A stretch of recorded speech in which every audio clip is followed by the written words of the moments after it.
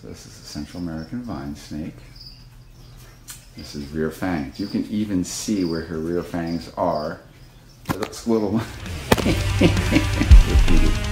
don't get me. So this one is gravid to black dragon, and that one's gravid to T positive. So it's T positive to black dragon, and this one is T positive to T positive. And then we got gravid axanthic, and oh, we got. Oh, she's not out. We can show. Gravid. That's Goo Goo. And the devil. That's the devil right there. But anyways. there are plenty of monitors right now. Cleaning them. And what are you guys doing? You guys you look kinda she's pretty much She's probably gravid I or, or almost I like just that. scanned her. You- She's, she's gravid? Yeah, I just scanned her. And this guy right there, he's the guy that does the editing. And he doesn't have a clue about any about reptiles, so he's That's thinking very true. he's just thinking I'm bad. What's it? what- What's this head with bazooka like this? And what's this incomplete minutes? And what is a beaded heloderma lizard? I'm lying. Actually, Donny takes care of monitors, so Donny. I'm good at I'm good at getting the poop out of the cages. Yeah, well, you're also good at playing. Look, I'm gonna dig this cage. Like she's already going right to it. Find me appropriate nesting.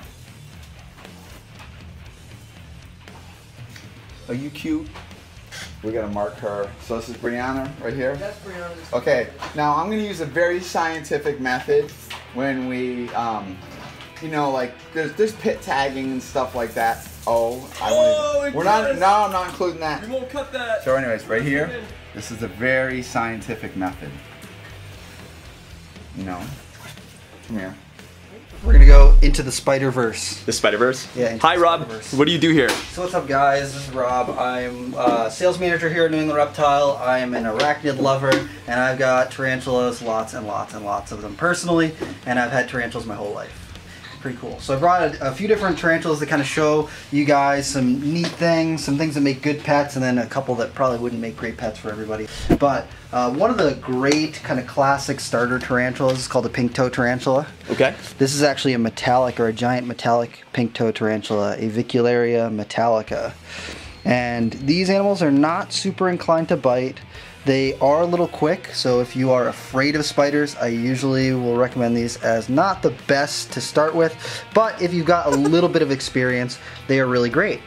And so the uh, pink toe tarantulas live up in the canopy of the rainforest. They can be found in South America, and you can see this one. quick. A little quick. But uh, not really inclined to bite. They will sometimes jump.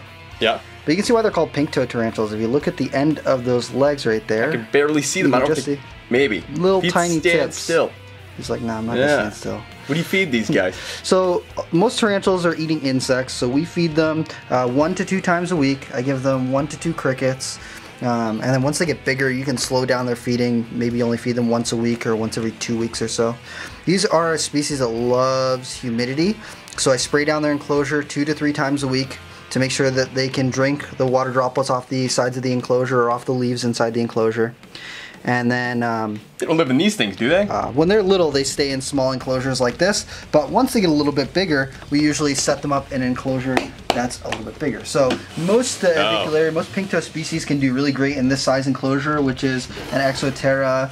Um, I think it's called the Mini Tall, and or Nano Tall. And these are eight inches by eight inches by 12 inches tall.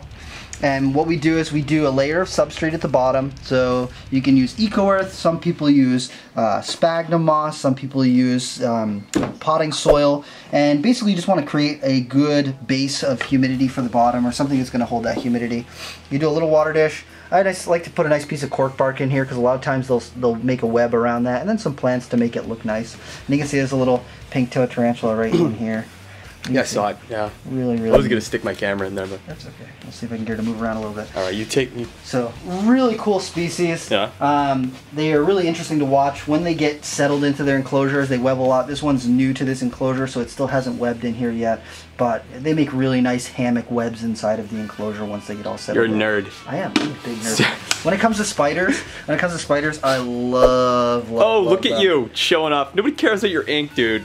I love spiders. Look at you. Oh, So- what do we got here? So this is a golden child cow reticulated python. Okay. And so when I'm introducing myself to this animal, I Yeah. want to know, let it know that I'm not food or I'm not a predator. So what do you I'm do? just gonna go in and I'm gonna gently rub it. Right. And so now you can see it's kind of aware of my presence. Uh huh. I'm just gonna go in, gently pick it up. Using finesse, huh? Look at you. Using Finesse. Right. Wow. Wh- And what's this called again? Say it slower. Golden child cow reticulated python. Wow. That's pretty sweet. And so they will actually begin pretty white and almost yellow. Yeah. And they'll gain these black and white and brown patternings along their dorsal, and they'll kind of stay pretty white on their bellies. But they are Whoa. gorgeous, gorgeous animals. They're all white on the belly. Look how clean you keep the enclosures, man. Dude, you do a good job. We keep them pretty clean, pretty happy. Like, I might be pretty, but I'm pretty angry. Look at that. She is super pissed. Yep. I was cleaning her cage.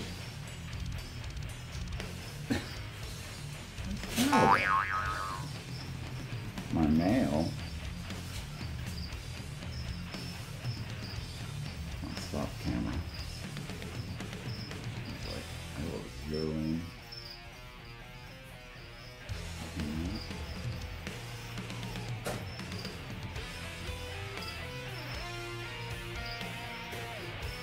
Central American vine snake. This is rear fangs. You can even see where her rear fangs are. It looks a little repeated. No, don't get my hand. There you go. Look how pretty you are. You can see right in that change in her mouth, that's right where her rear fangs are. And then she's showing the red in between her scales. That's completely upset and defensive. And so she's gonna do everything she can to make herself look pretty scary. These are amazing animals.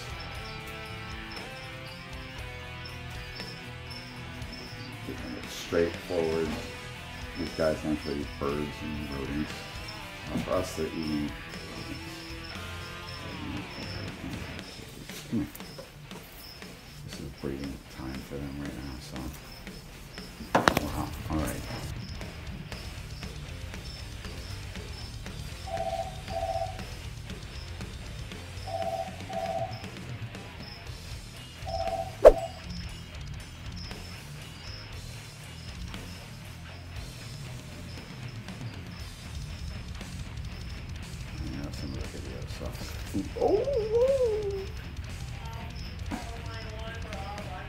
baby. She just dinked my finger. She is so upset.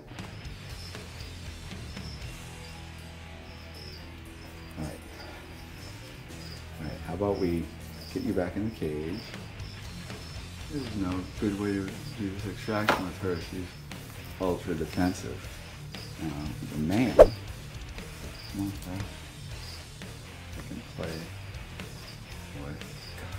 on black. Just makes my camera lose its mind. So I've never been bitten by anything like this, and you, you don't. I don't really even know. You never know how you could react to it. My male is really good. I've already made friends with him. Female, I've never made any efforts. Just having a nice, healthy female, a big deal. So we're we're, we're breeding right now. So getting more eggs.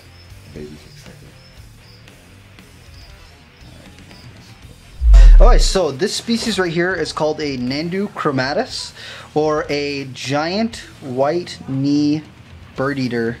Um, and this species right here, you can see is a little bit defensive right now.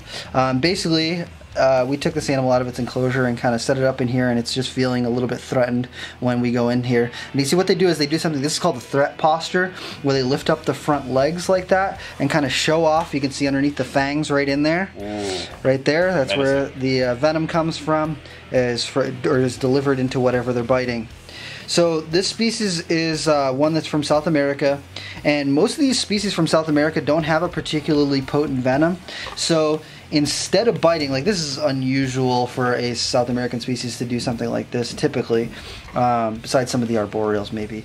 But what these South American species generally do when they feel upset is they will actually kick the hairs off of their abdomen. They've got these special long hairs on the back of their abdomen that are called urticating hairs. And when they kick those hairs off the abdomen, it kind of floats up into the air. And when it gets in your skin, it causes extreme amount of irritation. Um, and it makes it very itchy. It makes a raised welt and it can last for several hours. And it is very, very unpleasant. Uh, to So who would own this? Like, why do we own this? Why why is this even a thing that's here? I really like this species because I love the patterning on the legs, the long red hairs on the abdomen, and they love to eat. They're a species that loves to eat, so feeding them, watching them grab some prey is really, really cool. But you're not hugging and kissing this animal. No, I don't hug or kiss any of my spiders. Okay, that's good. Uh, it's it's weird because like a lot of people kind of are like, oh man, why would you keep a spider? You can't cuddle it, and it's like, well, why do people keep fish? You know, you can't cuddle your fish tank, uh, but people still really enjoy keeping fish. You know, you get to watch the animal, uh, see how they interact, watch them eat, watch them grow. So I really enjoy that aspect of keeping spiders. You look like you'd like spiders too. I- I do. That's pretty fair. yeah, that's fair. That's a fair assumption. Yeah.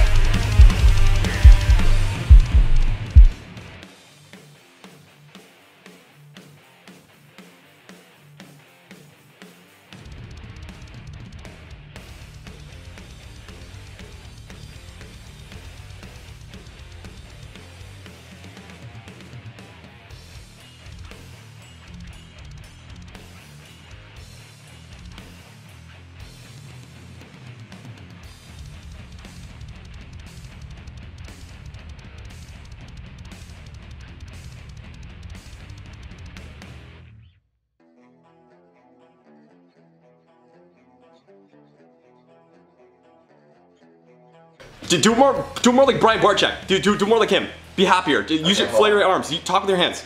Okay. Hey everyone, I'm super excited to be here today. And guess what? Today we're gonna look at this albino Burmese python and I can't wait to show you what's going on. I am psyched. Today's gonna be a great day. This is gonna be a good day. Oh my great god. day, good day. I'm full of shit. Kill it.